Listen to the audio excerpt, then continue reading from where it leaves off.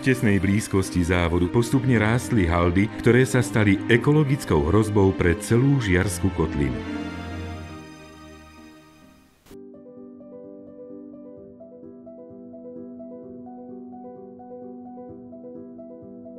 ZSNP vznikalo postupne v priebehu tých 50. rokov minulého storočia.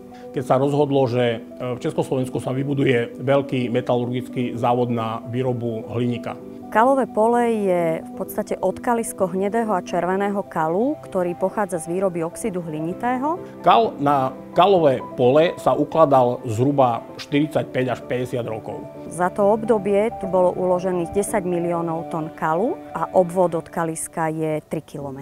Keby sa nepristúpilo k rekultivácii od kaliska, došlo by k takému nahromadeniu alkalických vôd, že by mohlo dôjsť až k ich preliatiu cez hrádze telesa od kaliska, čím by došlo k poškodeniu okolitých pôd, podzemných vôd, ale aj povrchových vôd, pretože voda by sa dostala až do hrona. Len k dnešnému dňu sme spracovali cirka 2,5 milióna metrov kubických alkalickej vody a mimo skládky od kaliska sa nedostáva nič.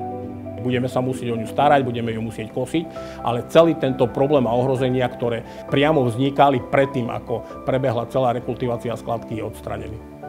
Celá sanácia stála už viac ako 53 miliónov eur. Ani nie celé 1% bolo formou dotácie zo štátu, všetko ostatné boli súkromné peniaze.